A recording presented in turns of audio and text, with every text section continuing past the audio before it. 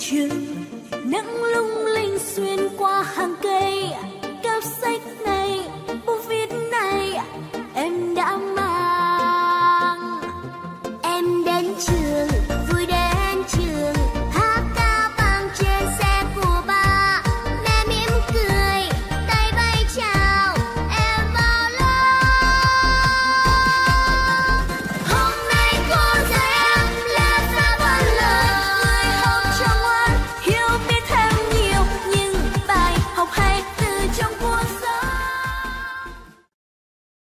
Cô chào các em, cô rất vui khi được đồng hành cùng các em trong tiết học này.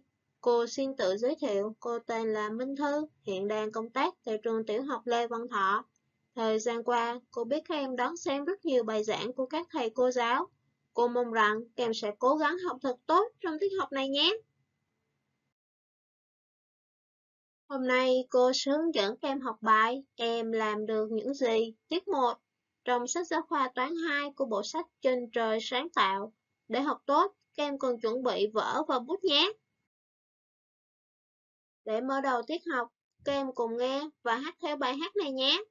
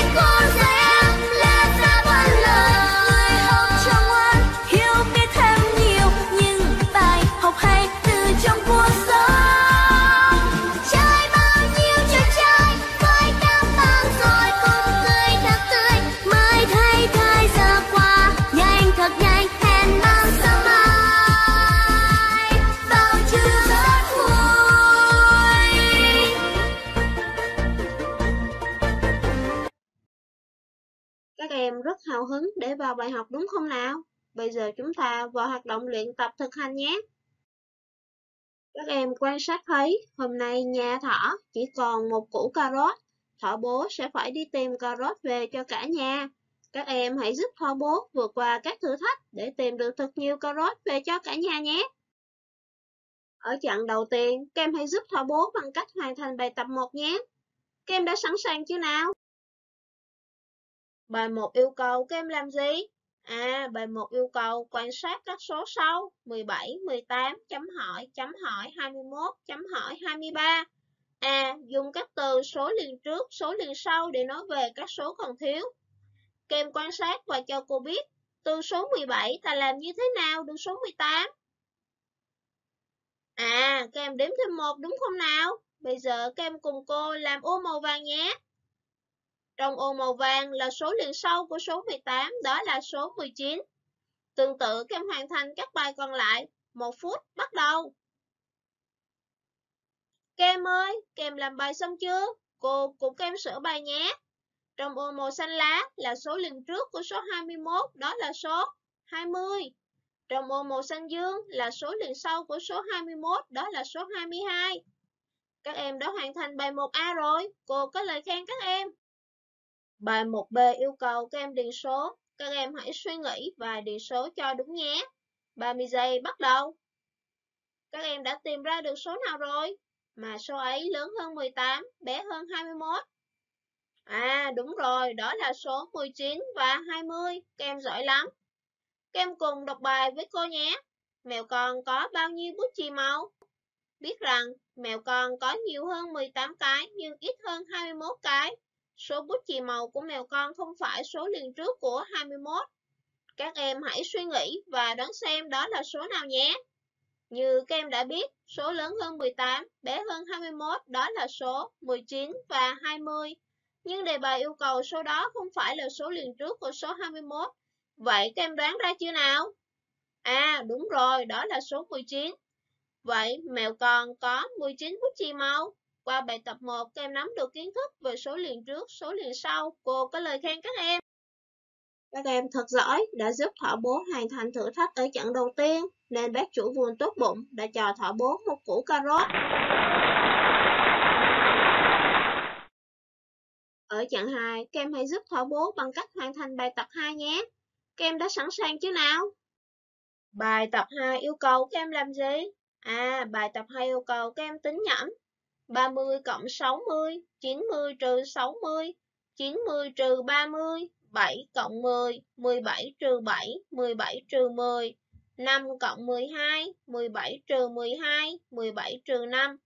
Các em hãy nhẩm và tính kết quả nhé. Một phút bắt đầu. Bây giờ các em cùng đọc lại bài tập 2 với cô nào. 30 cộng 60 bằng 90. 90 trừ 60 bằng 30. 90 trừ 30 bằng 60. 7 cộng 10 bằng 17. 17 trừ 7 bằng 10. 17 trừ 10 bằng 7. 5 cộng 12 bằng 17. 17 trừ 12 bằng 5. 17 trừ 5 bằng 12. Các em có nhận xét gì về bài tập này không nào? À, các em thấy từ một phép tính cộng ta viết được hai phép tính trừ. Cô tin rằng ở bài tập này các em làm rất tốt và chính xác. Cô có lời khen các em. Các em đã giúp thỏ bố hoàn thành thử thách ở chặng thứ hai, nên bác chủ vườn tốt bụng đã cho thỏ bố một củ cà rốt.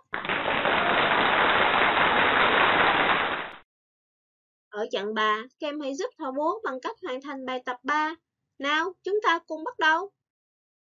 Bài tập 3 yêu cầu các em làm gì? Bài tập 3 yêu cầu các em đặt tính rồi tính. Đặt tính rồi tính có mấy yêu cầu? À, đặc tính rồi tính có hai yêu cầu. Yêu cầu thứ nhất là đặc tính, yêu cầu thứ hai là tính. Các em hãy quan sát lên màn hình với cô nào. Trước tiên cô viết số 51, sau đó cô viết số 18, sau cho 1 thẳng cột với 8, 5 thẳng cột với 1, dấu cộng chính giữa hai số. Lấy thước kẻ ngang, thay cho dấu bằng. Cô thực hiện phép tính từ phải sang trái, 1 cộng 8 bằng 9, viết 9. 5 cộng 1 bằng 6, viết 6. Các em vận dụng kiến thức đã học để làm bài nhé. 1 phút, bắt đầu. Thời gian đã hết, cô cùng các em sửa bài nào. 78 trừ 38 bằng 40. 4 cộng 62 bằng 66. 95 trừ 70 bằng 25. Cô tin rằng các em đều làm giống như trên màn hình của cô. Khi đặt tính, các em lưu ý viết thẳng cột với nhau và tính thật cẩn thận nhé. Cô có lời khen các em. Các em đã giúp thỏ bố hoàn thành thử thách ở chặng thứ ba, nên bác chủ vườn đã cho thỏ bố một củ cà rốt. Vậy còn chặng 4 nữa là thỏ bố sẽ mang đủ cà rốt về cho gia đình mình rồi. Các em đã sẵn sàng chưa nào? Các em xem yêu cầu bài tập 4 giống yêu cầu bài tập nào? Có phải có phải là giống bài tập 2 phải không các em? Vậy yêu cầu là gì? À, bài yêu cầu chúng ta tính nhẩm 7 cộng 7, 2 cộng 9, 8 cộng 4, 12 trừ 8, 15 trừ 8, 18 trừ 9, 7 cộng 6, 13 trừ 7, 13 trừ 6. Các em hãy nhẩm và tính kết quả nhé. Các em nhớ bấm dừng trên màn hình và làm bài. Bây giờ các em cùng đọc lại bài tập 4 với cô nào. 7 cộng 7 bằng 14, 2 cộng 9 bằng 11, 8 cộng 4 bằng 12, 12 trừ 8 bằng 4, 15 trừ 8 bằng 7, 18 trừ 9 bằng 9, 7 cộng 6 bằng 13, 13 trừ 7 bằng 6, 13 trừ 6 bằng 7. Cô tin rằng các em đều tính đúng, các em giỏi lắm. Ở bài tập này, các em đã nắm chắc được bảng cộng, bảng trừ và tính đúng. Cô có lời khen cả lớp. Các em đã giúp thỏ bố hoàn thành thử thách cuối cùng, nên bạn nhỏ tốt bụng đã cho thỏ bố một củ cà rốt.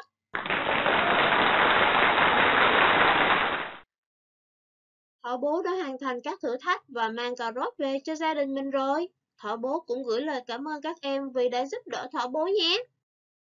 Qua bài học ngày hôm nay, các em có thể vận dụng kiến thức đã học vào việc điểm số báo cáo trong các tiết học thể dục. Bên cạnh đó, các em có thể đếm số lượng đồ vật trong nhà, số đôi giày, số quần áo mới, số đồ chơi của các em. Sau tiết học, các em cần xem lại bài đã học, xem trước bài, em làm được những gì, trang 78-79 nhé. Tiết học của cô đến đây là kết thúc rồi. Cô cảm ơn các em đã lắng nghe và theo dõi. Cô chúc các em luôn chăm ngoan và học tốt.